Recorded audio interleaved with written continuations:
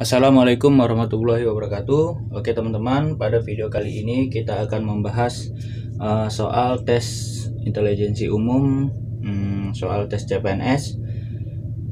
Kita akan membahas dua soal. Nah, itu adalah soal pertama akar pangkat dua dari, nah tidak perlu saya bayar, uh, saya bacakan ya terlalu panjang.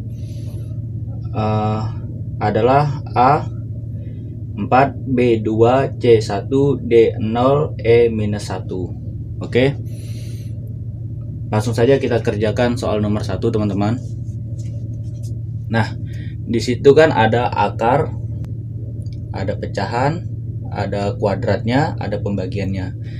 Nah untuk mengerjakan soal ini Pertama kita harus Sederhanakan dulu teman-teman eh, Bentuk pecahannya. Setelah itu baru kita uh, kuadratkan setelah itu kita bagikan kita bagi.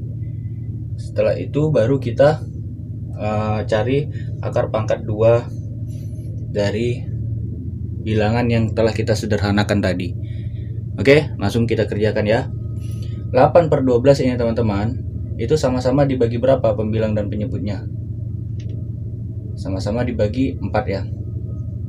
Oke kita dapatkan 2 per 3 nah itu paling sederhananya yaitu 9 dan 27 sama-sama dibagi. Berapa teman-teman? 9 oke.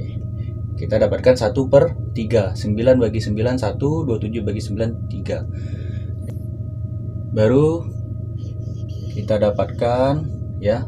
8 bagi 4 adalah 2 per 12 bagi 4 adalah 3 angkat 2 bagi 9 bagi 9 adalah 1 27 bagi 9 3 Oke? Nah ini adalah bentuk paling sederhananya teman-teman dari pecahannya. Setelah itu 2 pangkat 2 berapa? 4 per 3 pangkat 2 berapa? 9 ya.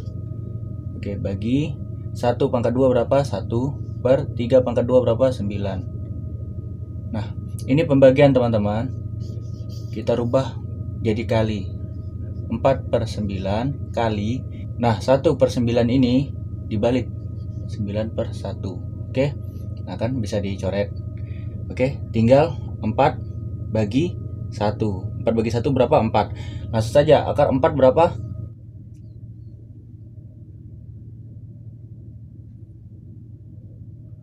Nah, kan sisa 4 dibagi 1 4 bagi 1 itu hasilnya 4 nah.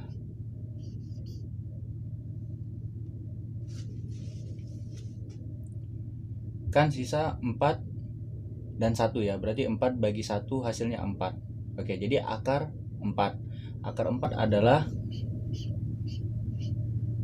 2 teman-teman ya. Oke jadi soal nomor 1 itu hasilnya adalah B ya 2 Oke teman-teman kita ke soal nomor 2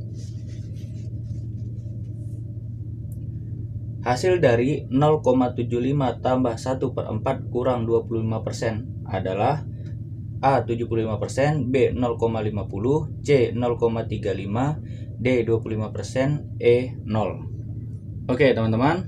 Nah, di sini ada bilangan desimal ada bilangan pecahan dan ada bilangan persen. Ini desimal bisa kita bentuk ke rubah pecahan. Pecahannya berapa ini?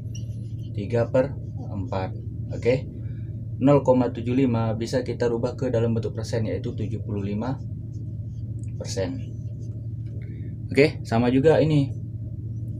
Oke? 1 per 4 itu kalau kita jadiin desimal jadinya 0,25 sama dan ini ya Nah, kalau kita jadiin persen jadinya 25 persen. Nah, sama. Jadi seperempat dan 25 persen ini sama teman-teman. Oke, kita harus tahu konsepnya ini dulu. Jadi terserah teman-teman mau rubah seperti apa. Misalnya teman-teman mau rubah ke bentuk uh, persen aja semuanya ya. Berarti ini 75 persen. Oke, jadi kita rubah ke dalam bentuk persen semuanya. Jadi 75 persen.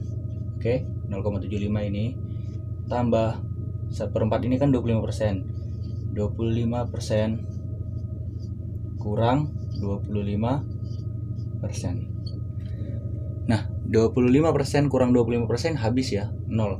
Jadi hasilnya adalah 75%. Nah, kita langsung dapat teman-teman. Langsung ada pilihannya di situ. A ya, 75%. Oke, gampang ya teman-teman. Uh, sekian ya. Hmm, pembahasan singkat kita tentang latihan tes intelijensi umum hitung cepat matematika. Semoga bermanfaat. Jika teman-teman memiliki cara yang lebih bagus uh, silakan digunakan untuk menghadapi ujian nanti. Assalamualaikum warahmatullahi wabarakatuh